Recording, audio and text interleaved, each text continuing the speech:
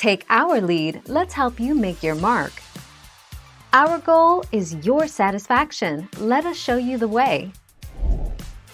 Start by removing any dust from the screen with a dry microfiber cloth.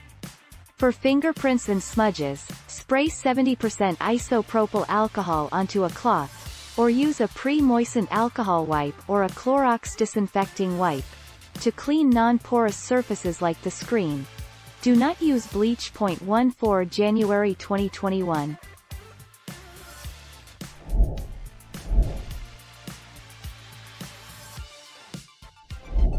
Let's help you make your mark.